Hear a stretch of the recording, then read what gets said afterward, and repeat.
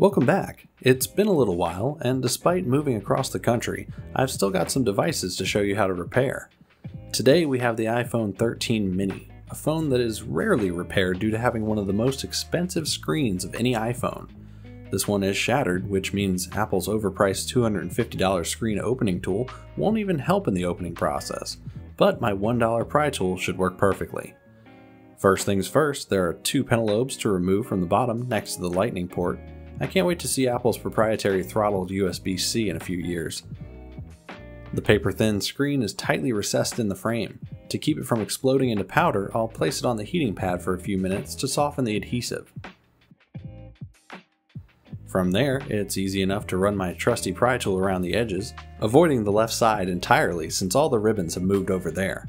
With a bit of perseverance and encouragement, the glass should pop up easily without giving me a mouthful of splintered Gorilla Glass. Yummy, right? Inside, we find what might be the simplest design for iPhone shielding yet. A single tri-wing screw secures the plate over the battery, charging, and display ribbon connectors.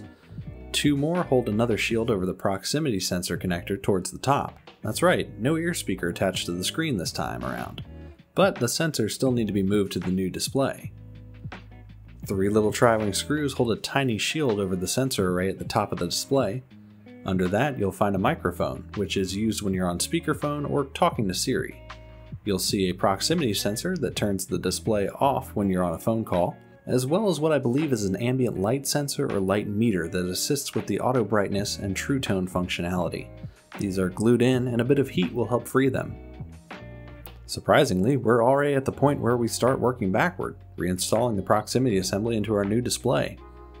The cables are incredibly short and poorly designed, so take care when reconnecting them. You'll need to keep your display supported so it doesn't put excess pressure on the weak ribbons causing them to rip or tear. Overall, the iPhone 13 mini is a breeze to work on, but is also arguably one of the least popular phones Apple has put out in the past 10 years. I find this pretty surprising considering what a great size the phone is. It fits comfortably in almost anyone's pocket. In any case, thanks a ton for sticking around to the end. If this repair helped you out, let me know. I'll see you next time.